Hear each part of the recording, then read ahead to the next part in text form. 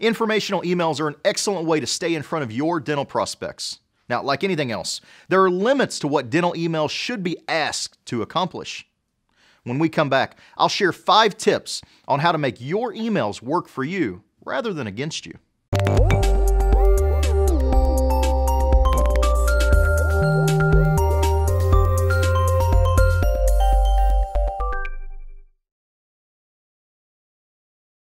Thanks for watching the Patient Attraction Podcast. I'm Colin Receveur. Now, at Smartbox, we know the value of emails in attracting more and better patients. And in our work with more than 550 dentists across three continents, we've learned some things about what makes a good email.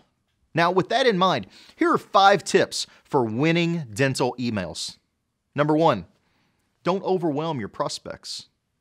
There are two parts to this tip. First, don't overwhelm them with the frequency of your mailings. And second, don't overwhelm them with the amount of content in a single email. You need to strike a balance between staying in front of your prospects and turning them off. Email automation is ideal for finding that right timing for your emails. And when it comes to content, your emails need to be structured for people with short attention spans. That means keep it short and add lots of white space and quick loading graphics or pictures. Now, tip number two set the hook. Your subject line has to grab your readers and lead them to open the email. You got to make it short, catchy, and memorable.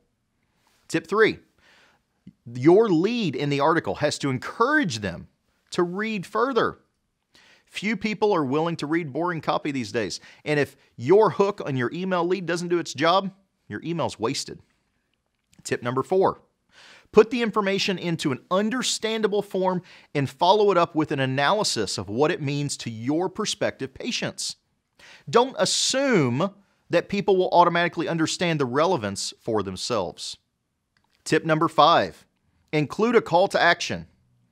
The whole purpose of your marketing is to get your patients and prospects to take action.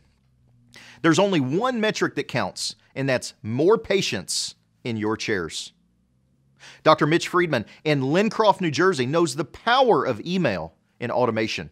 He's been a client of ours since 2013, and he said, I already had a prominent web presence, and Colin and his brilliant team were quickly able to consolidate and automate our online programs, email responses, phone tracking and recording, press releases, blogs, and Infusionsoft with an orthodontic and implant campaign sequence. Join me for tomorrow's podcast. Until then, keep moving forward.